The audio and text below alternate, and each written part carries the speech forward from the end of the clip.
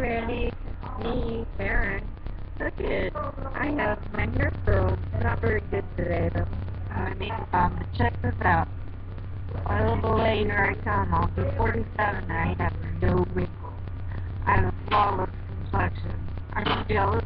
No acne, no nothing. and I'm in regular clothes. White jeans.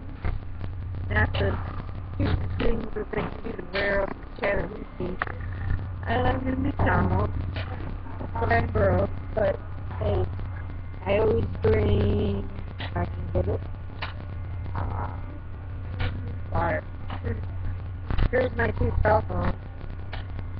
This is my main one. This is the one that I was probably on. But I now have the number in both, just in case one dies. I still have the phone number. Yeah, I'm just gonna get an okay because my card is to having problems. And should I like have a problem getting to Daytona, I want my uh, probation officer to know that I'm driving there. She'll be happy anyway because she knows I need the income. So, um, I'm gonna sure that, um, she knows. Because, uh, she'll be glad because then I can pay more than ten dollars a month. And three and a half years to pay out like six grand. Boy, I need to sell the card. I've got tons more, but I, I put a bunch for you and some funny photos. I've got tons of those too. anyway, um, yeah, this is me normal. Not on all that crappy medication they have me on. Um, I'm going to send you a couple of videos. Every video I do is spontaneous.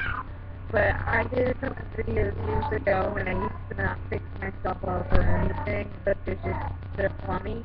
And I'm going to send you the links to those too, so you can check them out. I get long hair, and I wear a hat, a tank top, and no makeup. now I get fixed up because I do so many videos.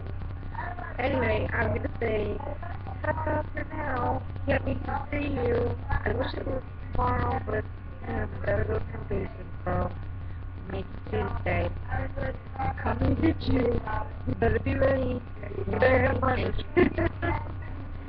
I love you. Bye, Chris.